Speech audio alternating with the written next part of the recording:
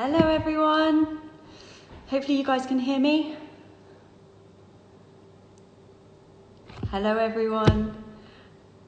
We're going to start talking about some cloth bound cheddars soon. Um, I'm going to give you, I'm going to give a few you know, a few moments for us to get started before I start talking about cloth bound cheddars and start eating some, some food, basically. Um, and I'm going to let a few more people log in. Oh, blimey, gosh, there's quite a few. no pressure.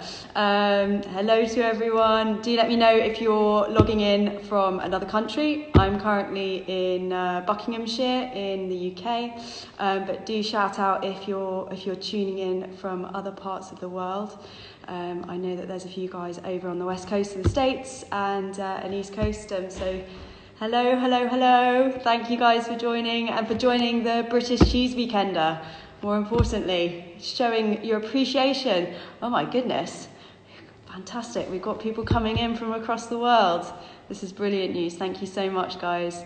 Um, looking forward to trying some cheese with you. I hope everyone's enjoying the bank holiday weekend if you're in the UK. Or uh, if, you're, if you're further afield, I hope you've got some nice weather because it is roasting here. Um, yeah, it's definitely sun tanning weather, although right now I swear I'm in a sauna. Um, I didn't need to leave my cheese out for too long to, uh, to get up to temperature.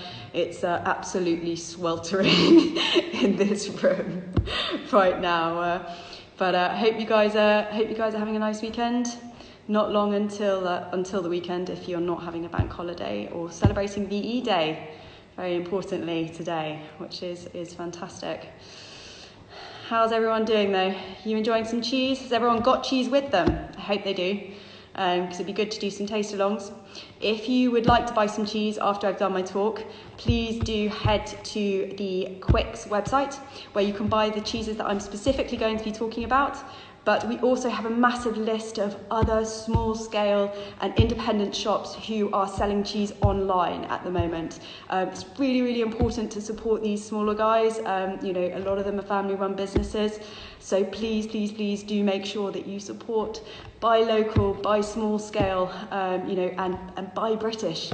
Uh, we need to really support our guys at this moment in time. Um, you know, it's, it's, it's, it's horrendous times, but I'm going to talk a little bit about why we need to um, at the end of this. But that's what the Big Cheese Weekender is all about. It's, it's, it's about promoting British artisanal cheese. Um, it's about getting that awareness out and making it a little bit more approachable. So I hope by the end of my talk today, um, you guys are going to have a little bit more uh, of an understanding of what, what our cheese is about and, and it not being too scary. You know, when you go into a cheesemonger, we're all here to help. We all, we all, we all love cheese. And as long as, oh, hello, Texas. Um, and, uh, and, and as long as you, as long as you can go in and, and buy local and, and, and, and ask the guys behind the counter, they'll be able to help you. Um, so we're, we're all here, here to support British, here to support artisanal and small scale. Okay, I think, uh, I think enough of you have logged in and I've wasted enough of time um, from, uh, from, from my small talk. Okay, so um, to start with, my name's Poppy. I am the export and multiple retail manager for Quicke's. I've been working with them for quite some time and uh, it is a real honour to work for the family and the farm. Um, I want to talk to you today about cheddar. Now, most people think cheddar is cheddar, it's a bit boring. But if you've never come across cloth bound cheddar, I would really ask you to forget everything you know about cheddar and to reconsider um, what I'm going to be talking about. So, when you go to the supermarket, most of you will buy cheddar and it will look kind of like this. There is nothing wrong with it. It's, uh, you know, it can be used for so many different things. But when I talk about cloth bound cheddar, I'm talking about this. Now, this isn't a real cheese, I'm afraid to say, because if it was a real cheese, it would weigh about 27 to 28 kg. Um, this is my pretend version. But this is effectively the size of what our cheeses are. Um, and if you're in America, that would be about a 60 pound piece of cheese. Um, we have been making cheese on our farm for quite a significant period of time, and I'm going to tell you a little bit about our um, history and our heritage and why we make cheese like that. Um, it's a very traditional, artisanal way of making cheese. It's really labour intensive and it's incredibly hands on. All of our cheese is made by hand. Um, we have 10 cheesemakers. I've got a picture of Grant here. That is one of our guys, um, and it is really, really hard work. So, to give you a little bit of history um, about Quicke's, I always start with a bit of a history lesson, and I promise this does um, this stuff does have meaning towards Quicke's. When I was at school, I used to learn this rhyme when we were studying the Tudor period, which was divorced, beheaded, died, divorced, beheaded, survived, which basically relates back to King Henry VIII and his six wives. I know it's a little bit gruesome, but it does have meaning. So, when he was divorcing his first wife, Catherine of Aragon, he had to go to the Pope for a divorce. Pope said no. So, King Henry VIII was a little bit disgruntled, went back home, and, uh, or he was at home and got the news and was, was significantly annoyed. He was trying to marry Anne Boleyn, who was a bit of a floozy, um, but had promised him a son. So, at this moment in time, he's going, fine, if the Pope won't give me a divorce, I'm going to divorce Catherine anyway. And in doing so, he realised at the time that all the land in England was owned by Catholic monasteries. And he's going, Well, I'm the king of this land. Why on earth should all the land be owned by Catholic monasteries and I'm not even a Catholic anymore? So, what he did was he took all of that land back off the Catholic monasteries and handed it out to people he wanted to carry favour with. He handed the piece of uh, land that we now farm on in Devon to a man named Thomas Bidwell. And my boss Mary's great, great, great, great, great, 14 generations down the line, grandfather married Thomas's daughter Elizabeth in our local church. So we have been farming on the land for coming up for 500 years now. Um, you know, we can see the name Quicke, which is um, Mary's family name, um, all around the county, and it's, it's pretty impressive. So, so we've been there for a decent amount of time. Um, we've been farming the land, which is now around 2,400 acres, although originally would have been about 3,000 at the time. Um, it's full of, of, of orchards, um, redwood forests that Mary's father planted.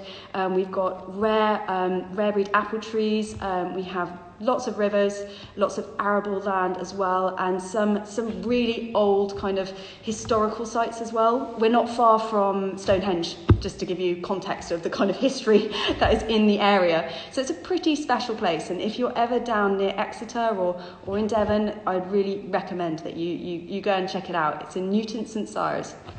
So, um, 14 generations down the line, um, Mary Quicke, who is now the helm um, alongside her siblings, and they make up the board of our company. Um, Mary's mother, Prue, set up the dairy in the uh, 70s after Mary's father applied for a cheesemaking license. Now, the good old British Post, it, he applied for the license and nothing came through for a good 10 years. Um, so, he had moved on to other ventures, and Mary's mother, Prue, took on uh, making cheese in the dairy with all of her children in tow, and, uh, and that's where we started making cheese on a commercial scale. So the way we make cheese is, is very much by hand, and we wrap it in cloth. Now, it looks kind of like this, and it's a very fine, fine muslin. And the reason we do this is because it allows our cheese to breathe as it ages. Um, so it allows moisture to come out of the cheese.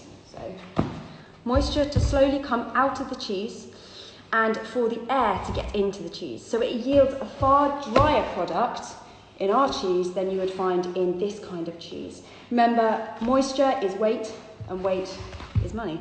Um, but this is the old world way of making cheeses. Now, the reason air getting into our cheese is so special is because the air in the atmosphere within which we mature our cheese has an incredible flavour profile that it, it, permeates through the cloth. We call it microflora um, or a mould garden, and it's not mould that you should be scared of. Um, it is amazing mould that has incredible flavour profiles that can impart on our cheeses. So the older the cheese, the more flavourful against the rind the cheese is going to be. So when we try the cheeses in a bit, I'm going to tell you how to try it so that you can see the impact of the air, literally the air has had on our cheese.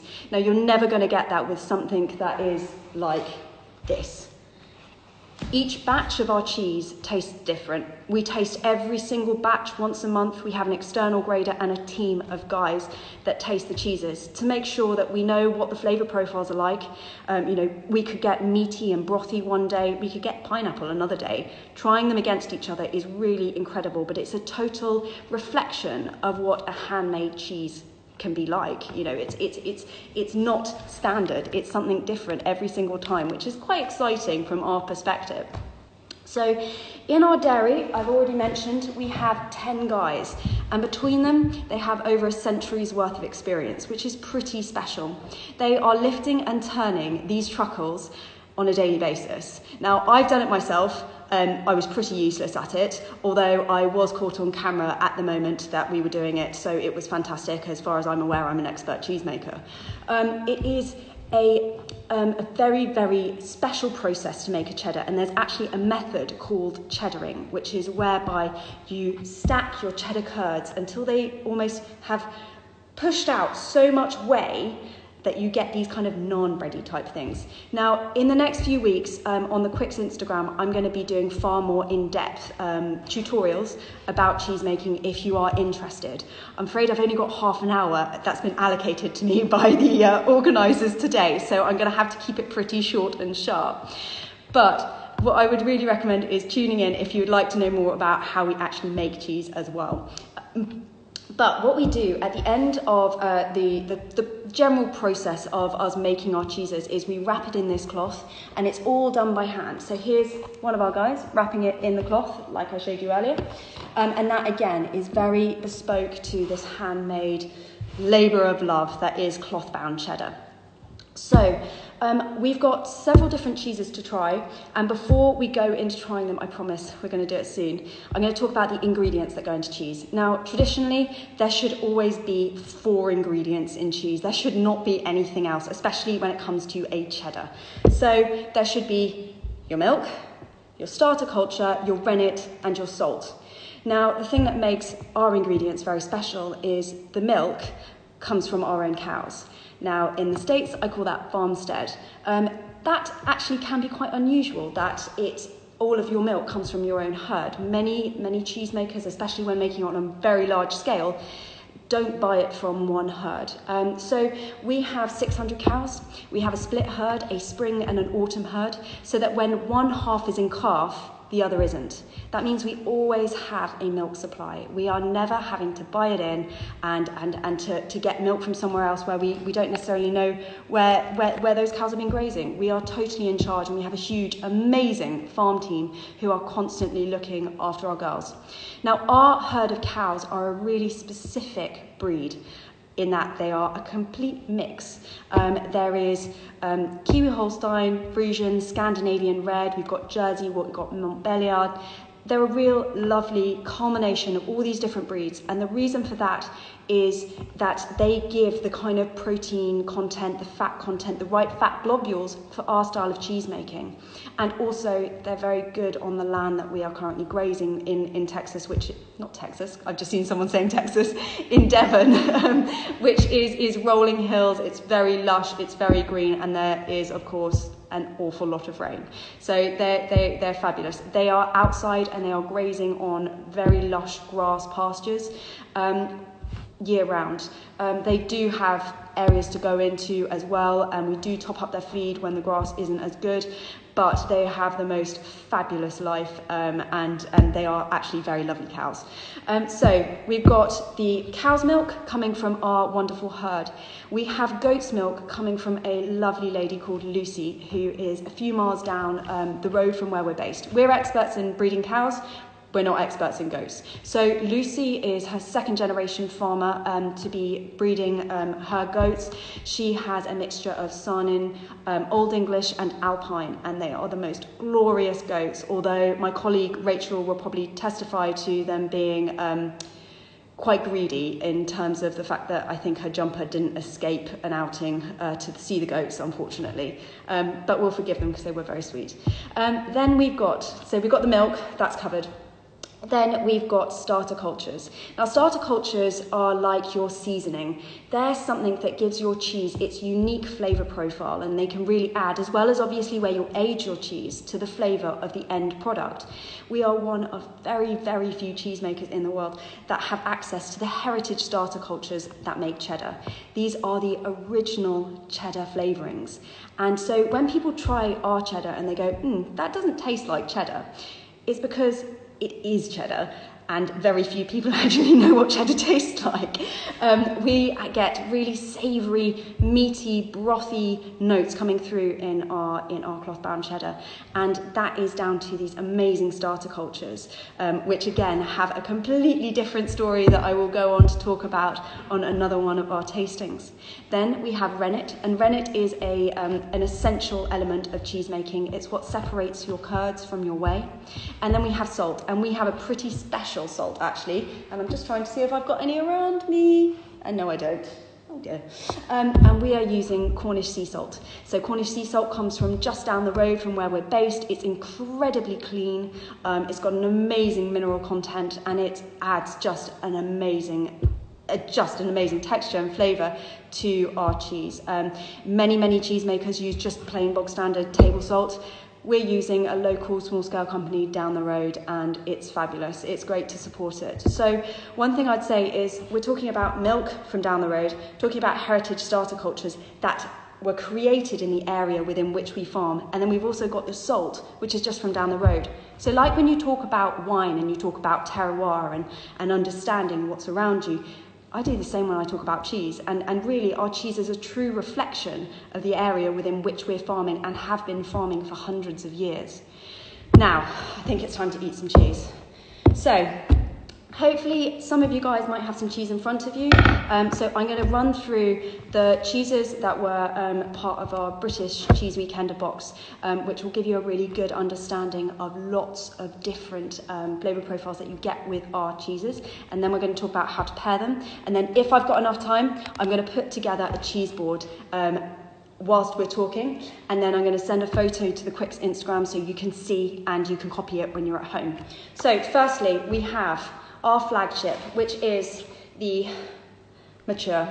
This is our what we're probably most famous for. Um, this is our 12 month mature.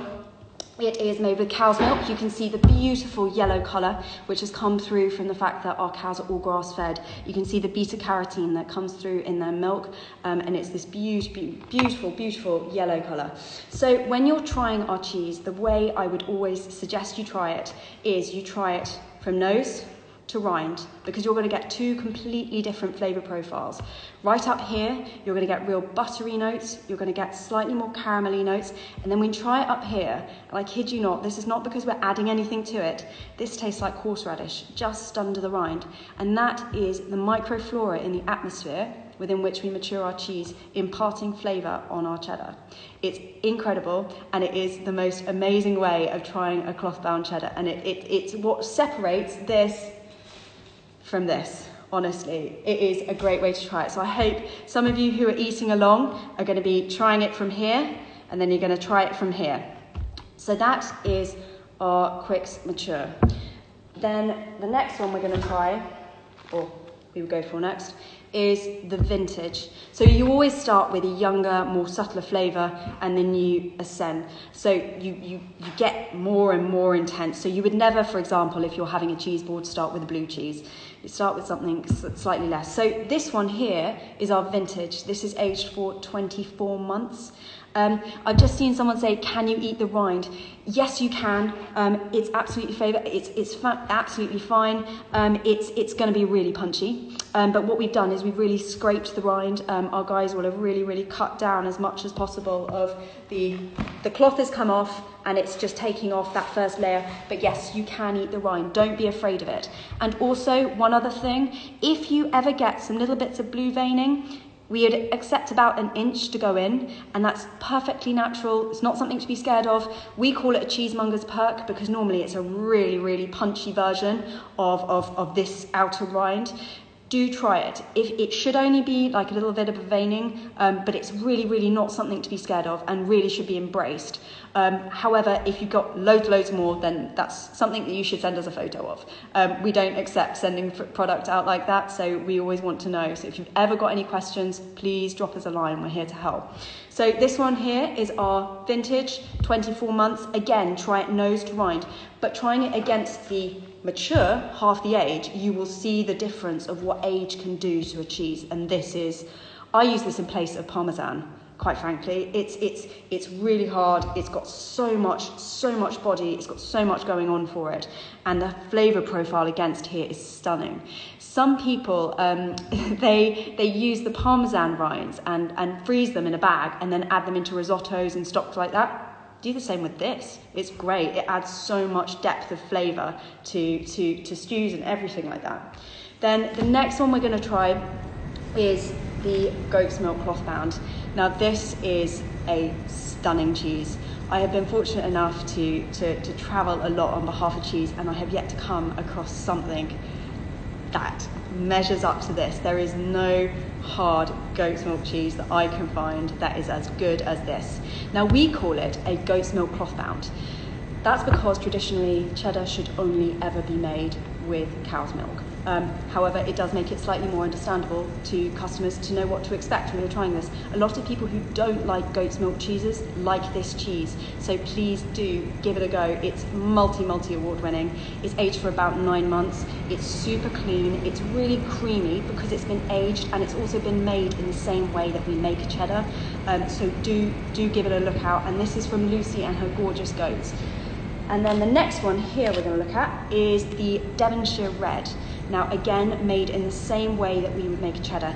Now, it's called Devonshire Red because it's our whimsical take on a red Leicester. We're based in the county of Devonshire, so we called it Devonshire Red. It's a much younger cheese. Um, this is aged for about six months. And the reason it is this colour is because traditionally that is what a red Leicester is, is coloured with. Now, it's not some dodgy orange coloured dye that we shove in. We are using annatto, which looks like this. It's a little seed from a plant in South America um, and it imparts this wonderful colour. It's totally natural and the reason we add it is because that's what traditionally was done with the traditional territorial red Leicester. This is a much younger cheese. It's much milder, more nutty, a little bit more creamy. Um, it's a it's a gateway cloth bound as well. If you if you're if you're not into the really really strong flavors, it's a really good one to start with and then and then build up. And then finally, the last one in the box is this, which is our cow's milk oak smoked cloth bound cheddar. This is our 9 to 12 month matured cheddar. We age it specifically if it's going to be, uh, we, we pick specific profiles that are going to be smoked. And what we do is we cut the cheese down into, we cut our cheese down into like three pound pieces or three kg pieces and then we cold smoke it for 16 hours on the farm, just opposite where we mature it, and we cold smoke it using oak wood chips from our farm. We have loads of oak trees, and we, it's a very sustainable way that we, we um, use the chips, um, and it's, it's a fabulous smoked cheese. It's naturally smoked, so when we have the big piece, you get more of a smoke flavour up here than you do, say, in here um, because we're not uh, reforming it or remilling it, um, which many smoked cheeses are. So, what, what people traditionally do is they will grate down a smoked cheese if it's, like, say, cold smoked, or sometimes people just add liquid smoke to it, which can give a bit of an acrid aftertaste. Um, but what we do is we just leave it as it is so that you've got a smoky bit here and then you've got a less of a smoky bit here because we're not going to remill it. Our poor guys have just spent however long creating this product. For us to do that would be slightly insulting. Um, so that's the cheeses that we've got today. Um, and what we're going to do is we're going to look at what we pair them with. So we have got, with our mature, this can stand up to quite a lot. The mature and the vintage I would put both of these with a piccalilli. something quite punchy. Um, the Hillside Piccalilli is exceptional.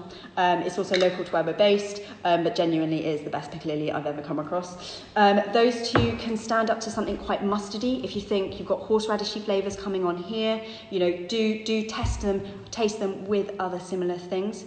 When we talk about pairings, pretty much the world is your oyster. You can try anything. Um, some people say, um, you know, uh, you should pair like for like flavors, or what you're looking is a balance, something that really, really works well together.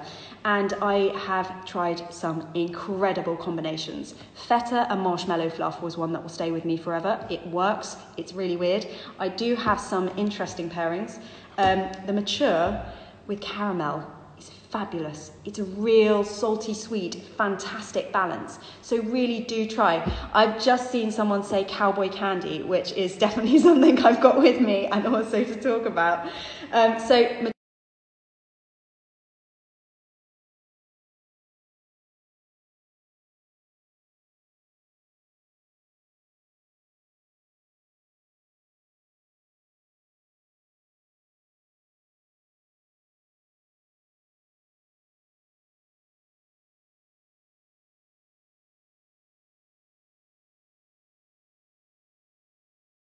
really nicely as well. Um, so, and they're quite sweet and they balance each other out really, really nicely too. Um, then with the goat's milk cloth bound, um, I was expecting one of my brothers to bring me um, some 70% uh, dark chocolate, and he has failed to turn up, so I do apologise. I, I am without one element. Um, but I would pair these with um, the goat's milk with maybe some like smoky nuts. Um, I've got some lovely truffly nuts. Um, here, some truffle honey. It's delicious can't go wrong there. Um, this is fabulous. These are preserved walnuts. And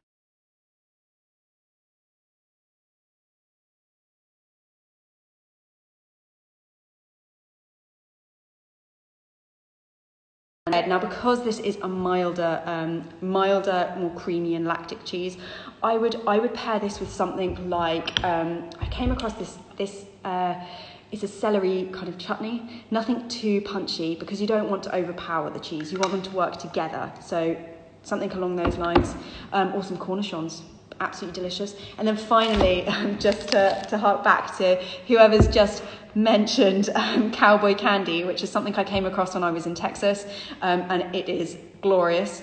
Um, essentially, candied jalapenos. There is someone who um, is making these in Marlow, uh, in Buckinghamshire, candied jalapenos really sweet and spicy works fabulously. I've also got some uh, strawberry habanero jam, but again, something like uh, a smoky, smoky uh, bacon jam, something like that can really stand up really, really well um, to this cheese. So I'd really recommend doing that. And the last thing I'm going to do um, before I leave you guys, because I know I'm on a very, very tight time frame, is the one thing that you should definitely make sure you have on your cheese board when you've got our cheeses and also others, apples fantastic to cut through and to cleanse the palate in between tasting cheeses um, because I've just talked about so many different items and products that you can pair with your cheese. It's really easy to get carried away and then just end up building on loads and loads of different flavours and, and losing it a little bit. Um, the other thing that I have to quickly talk about, and this is also a very special thing, but it's a byproduct of the cheese industry and it's something we also make, is we make something called uh, whey butter. And um, I want to talk about this because this is, this is pretty, pretty special. We're one of the only people in the world making this on a commercial scale. It is, you know, when I said um, you have your curds and your whey when you're making cheese, normally the whey goes to waste. It gets put in pig feed, it, it, it can be used to, to compost. Um, sometimes people sell it off to make whey pro- protein powder or goes into uh, baby milk proteins and things like that. We respin it and we make it into butter.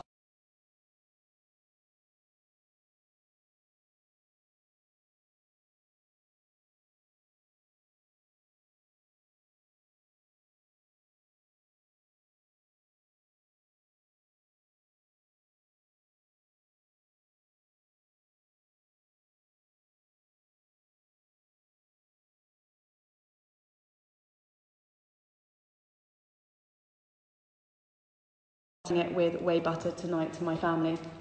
Um, Otherwise, um, I'm going to leave you guys there. Um, it's been a real whistle stop tour um, with, with Quicke's. Um, like I say, I'm going to be doing more tastings um, on the Quicke's Instagram, so please do uh, check us out. I will leave you with this. Thank you so much for supporting the British Cheese Weekender. It really, really means so much. Please buy artisanal, small scale British cheese. You need to support local and support handmade. And don't just support it now, support it later on down the line. You know, it's our, our small cheesemakers who really need your support right now. There are people throwing milk down the drain and it's tragic. And we will lose our food traditions if we don't support them now and continue supporting them. So keep an eye out on, on the Quicke's Instagram. Please keep an eye out on the Academy of Cheese. They're going they're doing so much over the weekend and continuing to. If you like cheese, on the Academy of Cheese they're doing um, accreditations so you can become like a really snazzy cheese person and know your stuff to your friends and have a little badge and everything and, and, and they do it, it, it's it's really really fantastic. Um, but I will leave you guys with that.